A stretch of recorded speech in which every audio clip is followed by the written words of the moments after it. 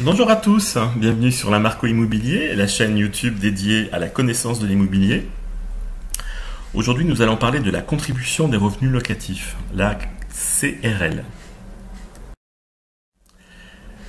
Les loyers des immeubles achevés depuis plus de 15 ans sont soumis à une contribution appelée contribution sur les revenus locatifs, qui porte l'acronyme de CRL.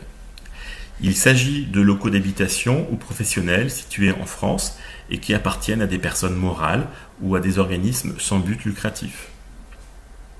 La contribution annuelle sur les revenus locatifs est à payer par les bailleurs suivants. Les personnes morales, les sociétés, les SCI, etc. et les organismes soumis à l'impôt sur les sociétés. Les organismes sans but lucratif, par exemple des associations, des fondations, des congrégations ou établissements publics non lucratifs qui disposent de revenus fonciers patrimoniaux taxables.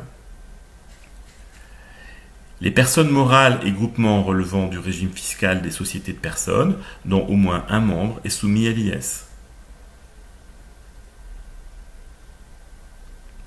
Autres personnes morales et organismes dont les revenus locatifs ne sont soumis ni à l'IS, ni au régime fiscal des sociétés de personnes, par exemple les associations ou les fondations.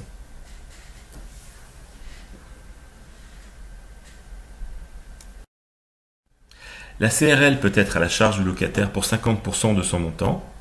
Pour ceci, il faut que la location concerne des locaux commerciaux situés dans des immeubles composés pour plus de la moitié de locaux d'habitation ou destinés à l'exercice d'une profession.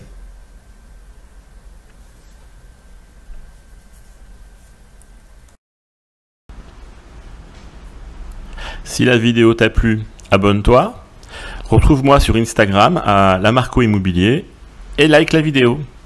À bientôt